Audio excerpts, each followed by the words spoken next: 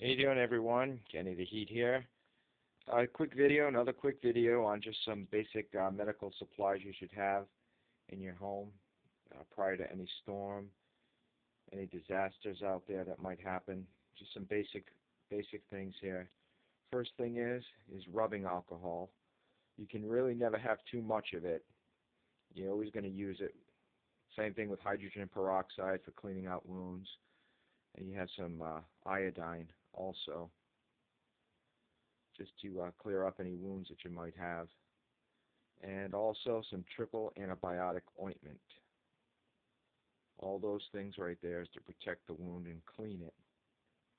Very important in any any disaster. Also, band-aids, gauze.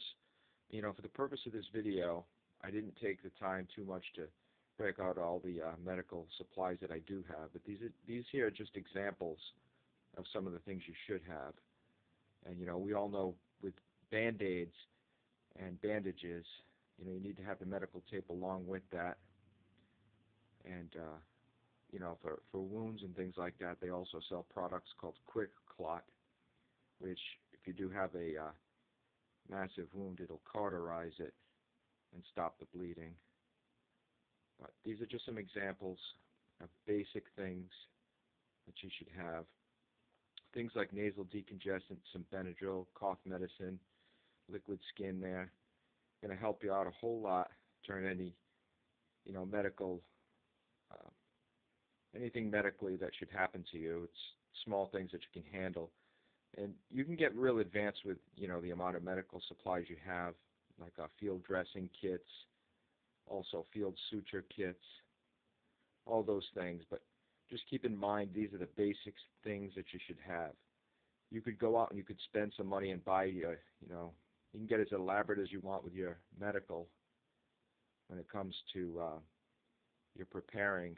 But uh, you know, when it comes down to it, just start off small. Get a medical kit or first aid kit.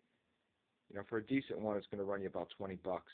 You could pretty much build one from some of the stuff that you have at home or just you know go to your local pharmacy and just piece it together and have a decent amount of uh, medical uh, supplies on hand in case anything happens. But you know you're always going to need band-aids always going to need the triple antibiotic ointment you know as well as the alcohol and the um, hydrogen peroxide. You know you might not need the, the liquid skin all the time but it does help same thing with the cough medicine and the allergy medications. You know, you, oh, and also what I didn't uh, put here on this little display is ibuprofen. You know that you're always going to need ibuprofen for whatever reason. Oh, it, it, it always comes in handy.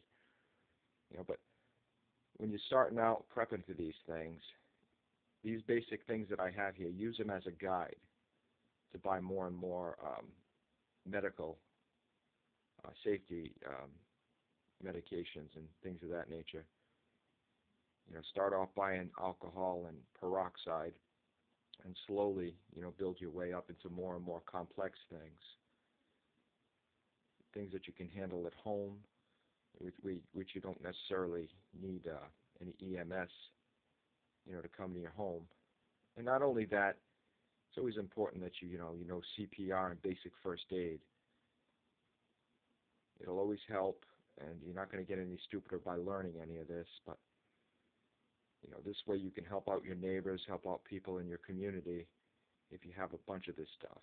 You, you know you're always going to need it. And just keep in mind these medications, they do have a shelf life on them. So, you know, try not to go too, too crazy with them.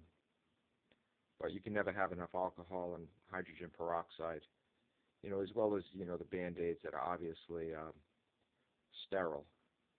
Things like cotton balls, Q-tips, things like that will help you out immensely in any type of disaster if you do have any type of medical issues within the family. And all, like I said, all this stuff can be bought, you know, piece it together slowly. It'll help you out.